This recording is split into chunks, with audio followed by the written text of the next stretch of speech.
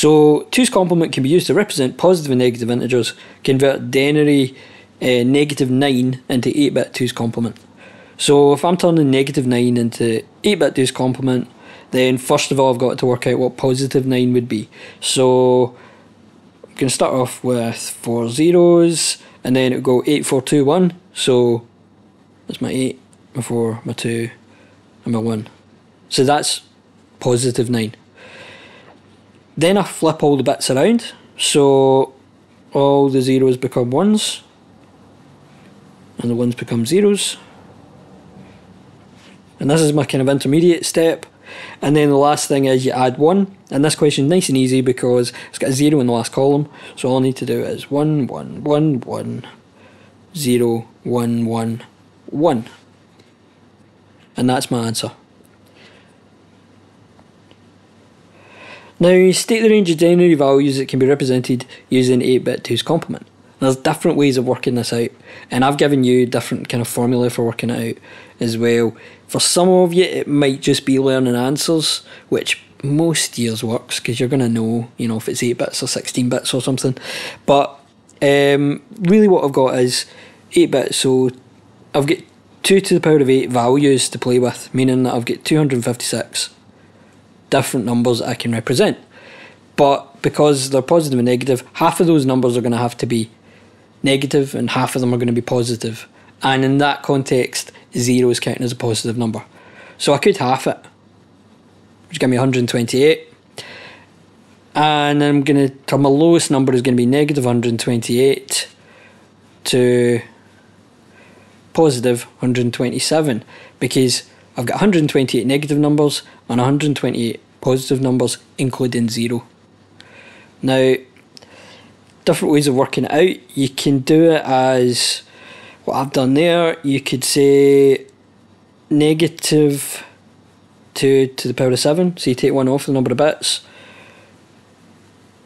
to positive 2 to the power of 7 minus 1 whatever method works for you, and I've given you other videos and other notes that have gone through different methods, but the answer is negative 128 to positive 127. If I had 16 bits or 32 bits or however many bits I had, it'd be 2 to the power of 16 or 32 or whatever. Right, increasing clock speed one method of improving performance. So it's already given us one, and then there are three other methods because there are four in the course spec. So we could increase the width of the data bus, we could increase the size of the cache, we could increase the number of cores.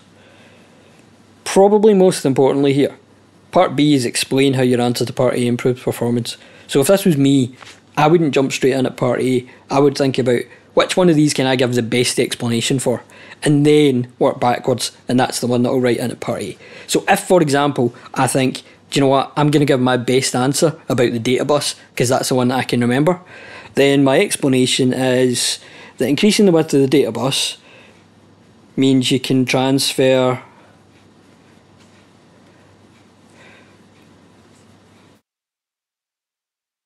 more bits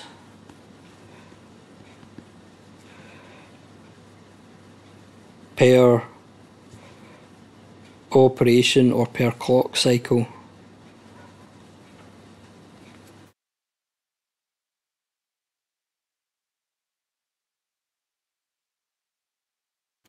And I can't spell already.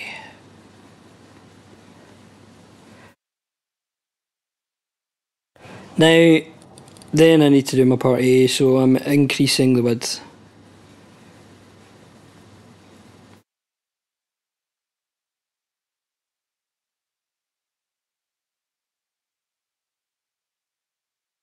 So I could give other answers in there. I could have said that if I had more cores, that that would let me um, execute instructions simultaneously or in parallel. Um, I could have said that I would increase the size of the cache, and that means that more of my instructions would be stored in this really super fast memory, meaning that I don't need to go and access the slower main memory every time I'm looking for them. But either way, you've got to give an explanation that matches. And then last two short response questions. So describe an intelligent system used on a car journey that's beneficial for the environment. Now, in the core spec, there are three intelligent systems. There's an intelligent heating system for a house, and it's obviously not that. There's an intelligent traffic management system, and there's an intelligent car engine management system. And those are the three examples in the core spec. I could use either of the last two because this is just a car journey. So whatever one I'm going to be better at writing an answer for. So first of all, I'm going to have to describe what it is, and then it says justify your answer. So I'll need to give a bit of explanation here as well, and that'll make sure that I'm making sort of two separate points. So the one that I'm going to go with is the traffic management system. So an intelligent traffic management system.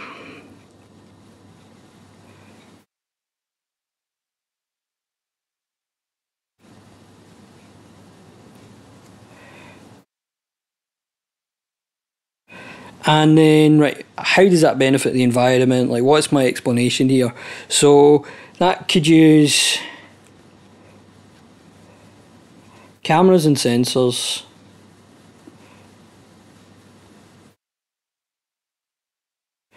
To reroute traffic around congestion.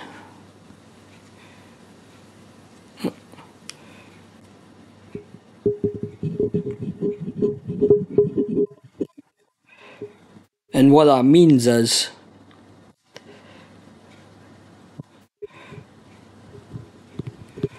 they aren't stopping and starting all the time.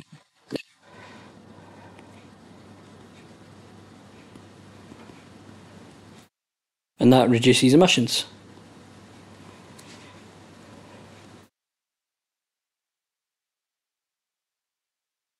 Now, could I've got away with probably a bit less detail than that? Yes, but that makes sure that I've got everything in there.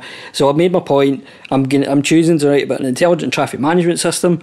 I'm saying that it uses cameras or sensors or some way of you know it monitors the traffic, how it's doing it, and then it's rerouting traffic around congestion to keep the traffic moving smoothly, um, so that people aren't stopping starting in a traffic jam because that would increase the emissions. And then lastly, the agile question. So this comes up quite a lot as well. Um, two advantages of an agile methodology. Now, it's important here that I'm not just saying like what agile is, right? It's asking me for an advantage. Um, agile the, the kind of main thing that we're going to talk about with agile is communication. So you're in really frequent communication with the client. That's come up sometimes in like a question about different time zones or why you'd have to be available to the client. So first of all if i say that there's really frequent communication um, that means why is that an advantage? Well i can get frequent feedback as i'm going. So agile has frequent communication.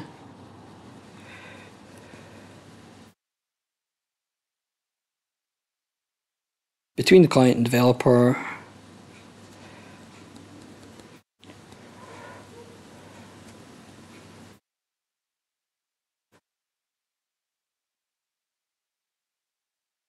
This means frequent feedback.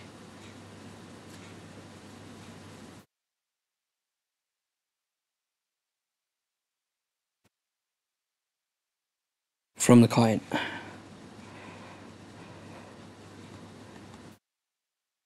So the client's able to see what you're doing and then tell you whether you're on the right track or not.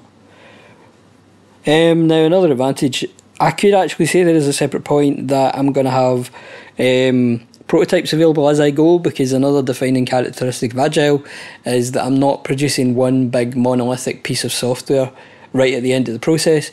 I'm producing sort of smaller versions as I go and gradually building up. So I would have prototypes available for them to review. Um, I'm going to be doing repeated testing because I test all the time as I go instead of just testing once. Um, either of those would be fine. So I could say uh, frequent prototypes available for testing, evaluation as you go. So I'm going to stop it there and then I'm going to look at the sort of bigger software development questions.